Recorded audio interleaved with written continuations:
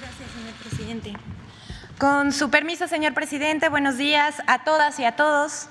Este es el quién es quién en las mentiras de la semana del 10 de agosto de 2022. Vamos a empezar con el mundo al revés. El presidente de la República habla de quienes apoyan a la 4T y la periodista y académica Denise Dresser lo ve como una amenaza contra la oposición. El primero de agosto, el presidente de la República, Andrés Manuel López Obrador, declaró que una forma en la que se mide el avance de su gobierno y los cambios generados por la 4T son las benditas redes sociales. Él dijo, tengo una lista de quienes se manifiestan en las redes, dijo el mandatario mexicano, pero la profesora del ITAM y editorialista de Reforma y Proceso descontextualizó la declaración del presidente y preguntó, ¿amenazando ciudadanos, presidente? El derecho a disentir es un derecho democrático y fundamental. Bueno, así se inventan las noticias falsas. Alguien coloca una falsedad y que, a fuerza de circular busca convertirse en verdad. En realidad el presidente hablaba de sus simpatizantes o de profesionales que argumentan a favor de la cuarta transformación en las redes, quienes eh, debaten con inteligencia y rebaten con buenos argumentos contra los conservadores y sus aliados en los medios. El presidente dijo que tenía su lista, Citó de memoria a Pedro Miguel, al Fisgón, Poncho Gutiérrez y a Eric Gutiérrez. Pero la señora Dresser se inventa una persecución inexistente. Aquí lo interesante es que gente con grado académico publique este tipo de mentiras burdas, la mayoría de las veces de mala fe. Bueno, hasta aquí está, pero vamos a presentar una más. Se desquicia la oposición por anuncio de acuerdo administrativo entre la Guardia Nacional y Sedena. El presidente de la República informó hace unos días que presentará un decreto presidencial para que la Guardia Nacional, encargada de garantizar la seguridad pública a nivel federal, se integre a la Secretaría de la Defensa Nacional.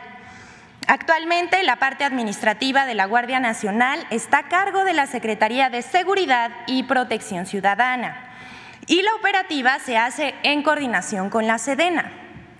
Una buena parte de los guardias nacionales, policías militares y policías marinos, otros vienen de la Policía Federal y hay nuevos reclutas.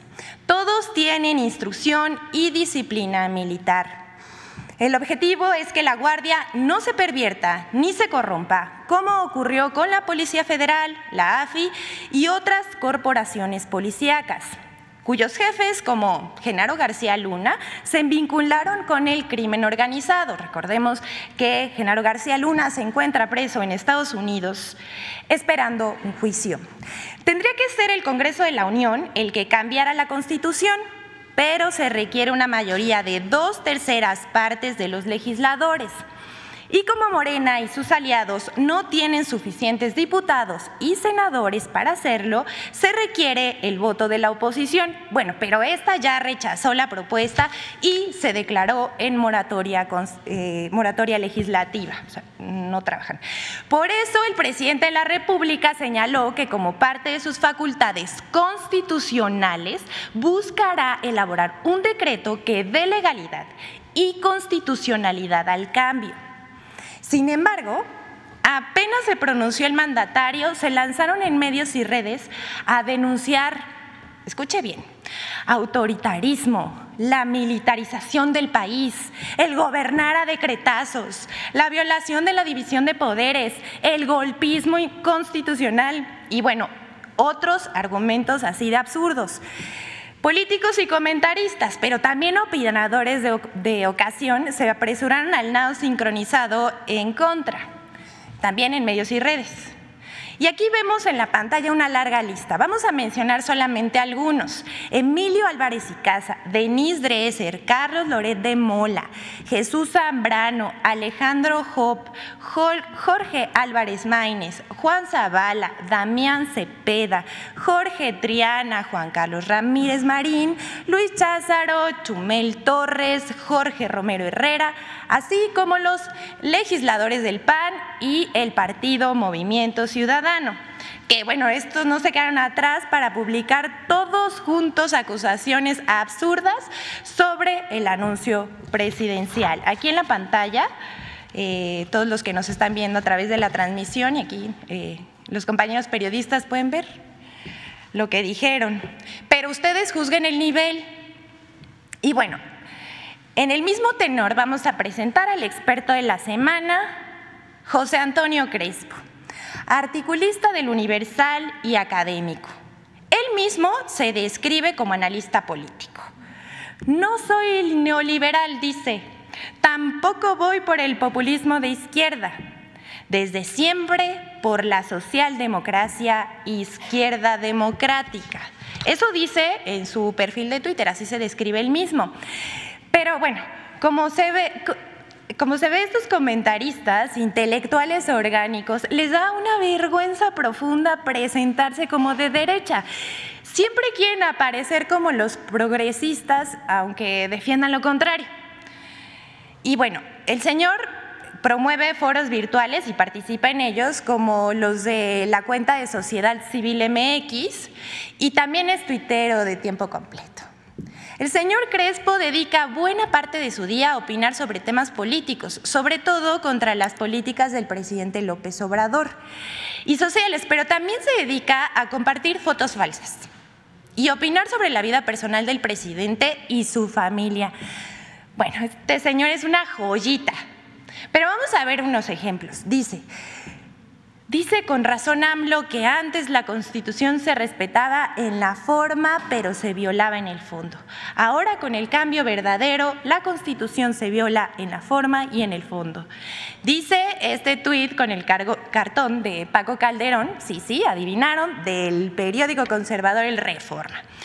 Y oeste, la humanidad pasó en mucho tiempo y con gran esfuerzo de el rey hace la ley, a la ley hace el rey. Ahora en México vamos en sentido inverso.